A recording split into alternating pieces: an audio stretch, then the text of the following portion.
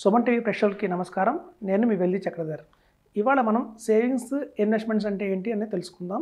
యాక్చువల్గా సేవింగ్స్ అంటే అందరూ ఏమనుకుంటారంటే మనకు వచ్చిన ఆదాయం ఇన్కమ్ మైనస్ ఎక్స్పెన్సెస్ మనకి ఏవైతే రో డైలీ నీడ్స్ ఉంటాయో ఆ ఎక్స్పెన్సెస్ అన్నీ తీసేస్తే మిగిలింది సేవింగ్స్. ఈ సేవింగ్స్ మనం ఏం చేస్తామంటే మనం బ్యాంక్ ఎఫ్డీలోనో లేదంటే పోస్ట్ ఆఫీస్లోనో ఎక్కడైనా ఇన్వెస్ట్ చేస్తాం. అయితే సాధారణంగా ఏంటంటే అందరి ఒపీనియన్ ఏంటంటే ఇన్కమ్ మైనస్ ఎక్స్పెన్సెస్ కూడా సేవింగ్స్ అన్న భావనలో ఉంటారు. అయితే మీకు నేను ఇంకో ఎగ్జాంపుల్ చెప్తాను చూడండి. సపోజ్ ఒక ఫాదర్ ఉన్నారు. ఆ ఫాదర్కి ఇద్దరు చిల్డ్రన్ ఉన్నారు. ఒక ఆయన ఎప్పుడో దాచుకున్న అమౌంట్ ఒక ఇన్సూరెన్స్ పాలసీలో దాచుకున్న అమౌంట్ ఇప్పుడు మెచ్యూరిటీకి వచ్చింది. అయితే ఒక వన్ లక్ష రూపాయలు మెచ్యూరిటీ వస్తే పెద్ద అబ్బాయికి యాభై వేలు ఇచ్చాడు రెండో అబ్బాయికి యాభై వేలు ఇచ్చాడు. ఇప్పుడు పెద్ద అబ్బాయి ఏం చేశాడంటే ఫస్ట్ సన్ ఆ ఫిఫ్టీ థౌసండ్తో ఒక సింగపూర్ ట్రిప్ వెళ్ళిపోయాడు ఫ్యామిలీ తీసుకొని. ఈ సెకండ్ సన్ ఏంటంటే ఆ యాభై వేలను తీసుకొని సింగపూర్ వెళ్ళకుండా ఒక మ్యూచువల్ ఫండ్స్లో ఇన్వెస్ట్మెంట్ చేశాడు. ఇప్పుడు మీరు గమనిస్తే ఈ సెకండ్ సన్ కూడా కావాలంటే దుబాయ్కో సింగపూర్కో వెళ్ళొచ్చు. లేదంటే ఒక సిమ్లాకి వెళ్ళొచ్చు.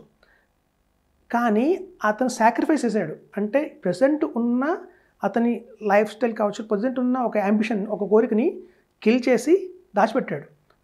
ఎప్పుడైతే మనం సాక్రిఫైస్ చేస్తామో దాని మీద వచ్చే రిటర్న్ మీకు కరెక్ట్గా ఇన్వెస్ట్మెంట్ ఆర్ సేవింగ్స్ అంటారనమాట సో ఇక్కడ ఉన్న ఎగ్జాంపుల్ చూస్తే ఫస్ట్ పర్సన్ ఏమో వెకేషన్కి వెళ్ళిపోయి స్పెండ్ చేశాడు. సెకండ్ పర్సన్ ఏమో వెకేషన్కి వెళ్ళకుండా ఆ అమౌంట్ని దాచుకొని తన ఫ్యూచర్ పర్పస్ కోసం దాచుకున్నాడు. సో ఎప్పుడైతే మనం సాక్రిఫైస్ చేస్తామో దాన్ని నిజంగా సేవింగ్స్ అనేది అంటారు. సో దాన్ని బట్టి మీకు ఏమర్థమవుతుంటే ఇన్కమ్ మైనస్ సేవింగ్స్ ఎక్స్పెన్సెస్ కూడా సేవింగ్స్ కాదు income minus savings is equal to expense so first మనకి ఇన్కమ్ రాగానే కొంత పార్ట్ని సేవ్ చేసేయాలి. ఆ సేవ్ చేసిన తర్వాత ఆ మిగిలిన అమౌంట్ని కనుక మనం ఎక్స్పెన్స్ చేసుకుంటే పర్ఫెక్ట్ ఫైనాన్షియల్ ప్లానింగ్ అవుతుంది. ఫ్యూచర్లో మనకి ఎటువంటి ఫైనాన్షియల్ ఇబ్బందులు జరగకుండా ఉంటాయి. సో మనం అసలు సేవింగ్స్ అంటే ఏంటి? బ్యాంక్ ఎఫ్డియా లేకపోతే పోస్ట్ ఆఫీసా లేదంటే మనకి ఇన్సూరెన్సా అలా చాలా ఆప్షన్స్ ఉన్నాయి. సో క్లియర్గా ఏంటంటే బేసికల్గా నెక్స్ట్ మీకు చెప్పేది ఏంటంటే ఇన్వెస్ట్మెంట్స్లో ఎన్ని రకాలు ఉన్నాయి? అని మనం చూద్దాం. ఫ్రెండ్స్ ఇక్కడ చూస్తే మనం సేవింగ్స్ ఇన్వెస్ట్మెంట్స్ స్పెక్యులేషన్స్ అని మూడుగా కేటగిరీ చేసి ఉన్నాయి. సో మనం ఏంటంటే ఒక ఎప్పుడు అమౌంట్ ఇన్వెస్ట్మెంట్ చేస్తున్నప్పుడు కానీ ఒక సేవింగ్ చేస్తున్నప్పుడు కానీ ఏ కేటగిరీ కిందకు వస్తుందని మనం ఖచ్చితంగా చూసుకోవాలి తెలుసుకోవాలి. ఇప్పుడు చూడండి బ్యాంక్ ఎఫ్డి ఉంది. సేవింగ్స్ కింద వచ్చేవి ఏంటంటే bank FD postal savings PPF RD ఇవన్నీ మీకు ఏంటంటే గ్రాడ్యువల్గా ఇంక్రిమెంట్ ఉంటాయి. అంటే మీరు పెట్- పెట్టిన ప్రిన్సిపల్ జీరో అవ్వదు ఫస్ట్ పాయింట్ సెకండ్ ఏంటంటే గ్రాడ్యువల్ గ్రోత్ ఉంటుంది. స్టెప్ బై స్టెప్ గ్రోత్ ఉంటుంది. మీకు సెవెన్ టు ఎయిట్ పర్సెంట్ రిటర్న్లో వర్కౌట్ అవుతుంది.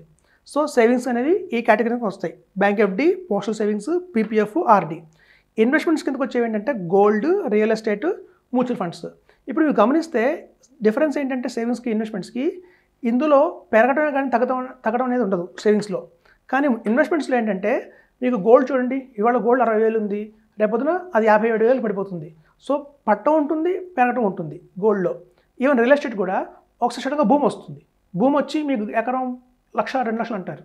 భూమి పోతే మళ్ళీ యాభై వేలకు వస్తుంది. సో మీకు ఏంటంటే హెచ్చుతగ్గులు అనేవి రియల్ ఎస్టేట్లో ఉంటాయి. అలాగే మ్యూచువల్ ఫండ్స్ కూడా సెన్సెక్స్ అంటుంటారు మా స్టాక్ మార్కెట్ పెరుగుతుంది తగ్గుతుంది. సో ఇన్వెస్ట్మెంట్స్కి సేవింగ్స్ డిఫరెన్స్ ఏంటంటే ఇందులో మీ ప్రిన్సిపల్ గ్యారంటీగా ఉంటుంది. స్టెప్ బై స్టెప్ పెరుగుతుంది. కానీ గ్రోత్ చూస్తే సెవెన్ టు ఎయిట్ పర్సెంట్ వస్తుంది.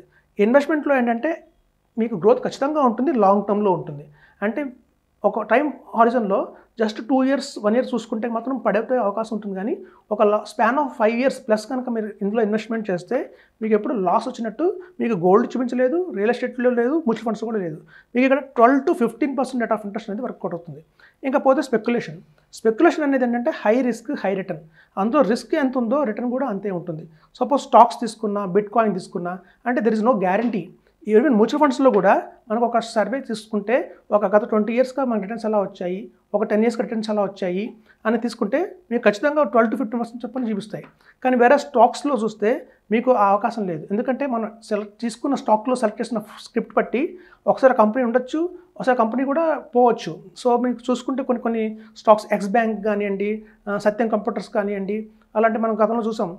స్టాక్ స్టాక్ పోతుంది. అంటే మేము పెట్టిన అమౌంట్ గ్యారంటీ లేదు అక్కడ. రిటర్న్స్ వస్తున్నా బ్రహ్మాండంగా వస్తాయి.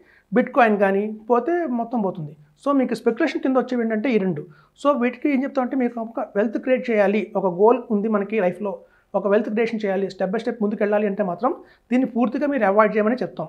ఎందుకంటే దెర్ ఇస్ నో గ్యారంటీ ఎందుకంటే మనకి ఫ్యూచర్లో ఎస్ ఒక రిటైర్మెంట్ అయిపోయిన తర్వాత అరవై ఏళ్ళు వచ్చిన తర్వాత రిటర్న్ వస్తుందా రాదా అని డైలమా ఉండకూడదు. ఈ స్పెక్యులేషన్ ఏంటంటే రిటర్న్స్ వస్తాయా రావా అనేది డైల్మా ఉంటుంది. సో మెడిసిన్ వేసుకోవాలా వేసుకోకూడదా? డైల్మా ఉండకూడదు కదా? ఖచ్చితంగా మెడిసిన్ వేసుకోవాలి. కాబట్టి ఏంటంటే కంప్లీట్గా దీన్ని అవాయిడ్ చేయండి. ఇన్వెస్ట్మెంట్ సేవింగ్స్లోనే ఇన్వెస్ట్మెంట్ చేయండి అని చెప్తాం. స్పెక్యులేషన్కి ఎప్పుడు వెళ్ళాలి అంటే మనం హ్యూజ్ కార్పొరేట్స్ వెల్త్ క్రియేట్ అయిన తర్వాత. సపోజ్ ఒక ఫైవ్ క్రోర్స్ అక్యుములేట్ చేసాము పిల్లల రెస్పాన్సిబిలిటీస్ మనకి అయిపోయినాయి వాళ్ళ మ్యారేజ్ చేసేసాము. పిల్లలు వెళ్ళి ఎస్టాబ్లిష్ అయ్యారు బాగా చదివించాము. మనం కంప్లీట్ రిటైర్మెంట్ ఒక ఫిఫ్టీ ఇయర్స్ మీరు రిటైర్ అయ్యారంటే నెక్స్ట్ థర్టీ ఇయర్స్ దాకా మనకి ఇంకా లైఫ్ ఉంది. కాబట్టి అప్పుడు మనం స్టాక్ మార్కెట్కి వెళ్ళొచ్చు. కాబట్టి ముందే at the age of twenty five థర్టీస్లోనే మనం స్టాక్ మార్కెట్కి వెళ్తే కనుక ఆ రిటర్న్స్ గ్యారంటీ లేవు. మన పిల్లల్ని చదివించాలా చదివించకూడదా అన్న గ్యార డైలమా ఉండకూడదు కదా. సో కంపల్సరీ చదివించాలి. కాబట్టి ఏంటంటే ఇన్వెస్ట్మెంట్స్ తీసుకుంటే ఏమవుతుందంటే మీకు రిటర్న్స్ అనేది లాంగ్ టర్మ్లో ట్వెల్వ్ టు ఫిఫ్టీన్ పర్సెంట్ మనం అక్యుములేట్ చేయొచ్చు కాబట్టి నైంటీ పర్సెంట్ నైంటీ పర్సెంట్ ఇందులో ఇన్వెస్ట్మెంట్ చేసి ఒక టెన్ పర్సెంట్ ఇందులో ఇన్వెస్ట్ చేయాలి హెడ్జ్ లాగా. సో మన పోర్ట్ఫోలియోలో ఎప్పుడు ఈ రెండు ఉండాలి తప్ప అది ఎప్పుడంటే వెల్ ఎస్టాబ్లిష్డ్ అయిపోయిన తర్వాత తీసుకోవాల్సి అది నేను రాంగ్ అని చెప్పను. కానీ this is the not the right time ఇప్పుడు చూడండి మనకి ఎంప్లాయీస్లో జాబ్ వస్తుంది శాలరీ వస్తుంది. శాలరీ రాగానే ఒక యాప్ ఓపెన్ చేస్తాం. యాప్ ఓపెన్ చేసి మనం వెంట వెంటనే స్టాక్స్ కొనేస్తూ వెళ్తాం. సో మీరు ఇలా కొంటూ వెళ్తే స్టాక్స్ ఈ ఇయర్స్లో అంటే ట్వంటీ ఫైవ్ ఇయర్స్ ఏజ్లో ప్రాపర్ నాలెడ్జ్ లేకుండా దాని మీద మనకి ఏంటంటే రిటర్న్స్ వచ్చే అవకాశం చాలా తక్కువ ఉంటుందన్నమాట. సో కాబట్టి స్పెక్యులేషన్ మీరు పూర్తిగా అవాయిడ్ చేయండి. వన్స్ వెల్త్ క్రియేట్ అయిన తర్వాత అప్పుడు you can go for this స్టార్టింగ్లో ఏంటంటే ఫస్ట్ సేవింగ్స్ తర్వాత స్టెప్ ఇన్వెస్ట్మెంట్స్ తర్వాత స్పెక్యులేషన్ ఇలా కనుక ఎవరైతే ఫాలో అవుతారో వాళ్ళది వెల్త్ క్రియేషన్ అనేది ఈజీగా హ్యాపీగా జరుగుతుంది. థ్యాంక్స్ అండి.